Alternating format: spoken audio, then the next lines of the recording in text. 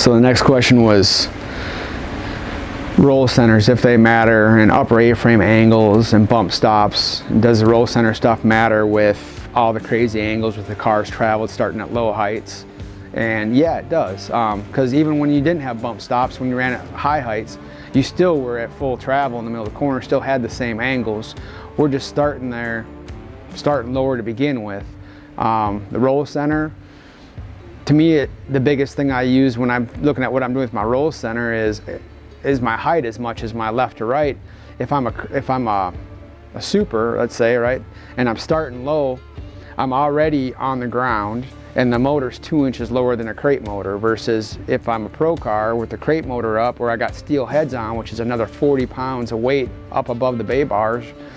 Um, it's kind of like if you put a bowling ball on a stick, right? If you hold right next to the bowling ball, it's hard to get a lot of momentum, you know, but if you grab that stick, you know, 18 inches below the bowling ball and hold it over your head and swing it and then try to stop it, it takes a lot more energy to stop that load. Well, that's what your roll center is. It's mechanical jacking to help fight the inertia of the motor wanting to sling the car over on the right front. So guys who are running steelhead motors, or if you got crate motors, or you got some crazy high engine height rule, um, it's still up there. You're still trying to control that roll. So that's where the height of your roll center, the higher it is, the more it'll control the tip of the car. If you've got a aluminum motor that's on the earth, the short pan, and you're starting at low heights where the car's only traveling an inch, well, you can probably run the roll center a lot lower and a lot further left and not have to worry about controlling the motor so much. You can just use it to load up the tires.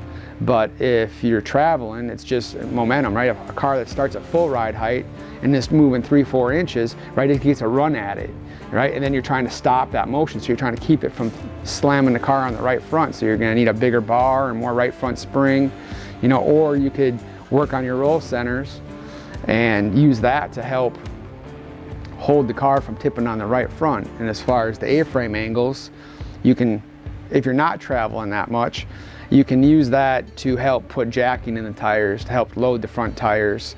You know, and a lot of people don't understand what jacking is. I mean, they're like, oh, it's front load.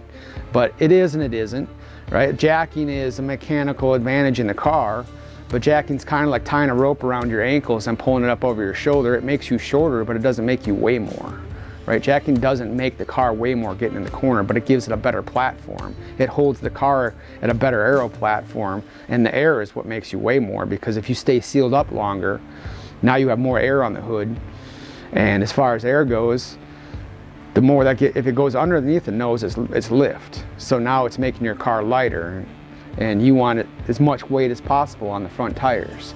So there's only two ways you can do that. You can either physically put mass on the front tires, which is nose weight, or you can be sealed up and put aero load on it. So if you do it with nose weight, it's kind of like the difference between a bowling ball and a soccer ball, which one changes direction easier, right? If you just do it with physical weight on the front of the nose, you still got to get it to change direction. But if you can do it with aero load, like I kind of call it the finger of God, right? It's pushing the car down, but it's not directional. Like an Indy car, right? They're very nimble. They turn quick because they don't weigh anything and they make three times the aero load of what their weight is so they can change direction real easy. And that's all your jacking really is, is it's a platform. Um, now it does make some wheel load, but the bigger thing is it assists your springs so that the springs don't gotta do all the work. You know, you can force the right front into the track so that it makes more right front load, but it's, it's making more right front load not because it's sticking the tire in the ground, it's making more right front load because you got to wind the right front spring up more to keep the car from hitting the track. So it's like you just put a post in the right front, which then sends all that load right into the tire. Where if you have less right front jacking, for example, it takes less spring to hold the car up and it's more forgiving on the tire. Now with the tires, they keep making the tires harder so that they don't have tire problems. Well, you got to piss it off more to make it stick. So the harder tire you have, the more jacking the car likes because the more it wants to piss off the tire to make heat. If you got really soft tires, that's when you melt the tires down. So then you can back some out and be more forgiving. Um, that's really how you decide what you're doing with your geometry is what your platform is. And there's so many different rule packages and tires around the country that it's hard to give one specific, like this is what you gotta do answer because it's dependent on your whole track what you're running, what your rules package is. Yeah, if you're on a hard tire with no ride height, you can run a super stiff right front spring and a bunch of jacking in it and just turn the tire on and you'll be good, especially if you're running a 40 lapper. If you're running 200 lap races, 150 lap races every week on soft tires, you probably don't want to do that because you qualify good and lap 50 you'll be done. So it's, I don't have all the answers, you know, but that's the, that's the mindset you got to have when you're looking at what you're picking and why. It isn't just a cut and dry, oh, you got to have the roll center here and you should run flat arms or you should run a bunch of angle on your arms. It's really about what you're trying to accomplish. And there's more than one way to skin a cat, right? So there's more than one way to get there. Uh, you just kind of got to decide what yours is. And you know, if I got steel heads and no ride height, I'm going to have to have a higher roll center. And I can probably run more right front spring to help that. And that's going to help turn that tire on on my hard tire.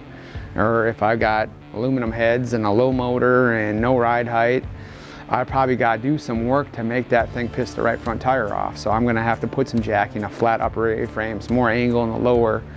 Um, that's really what it comes down to.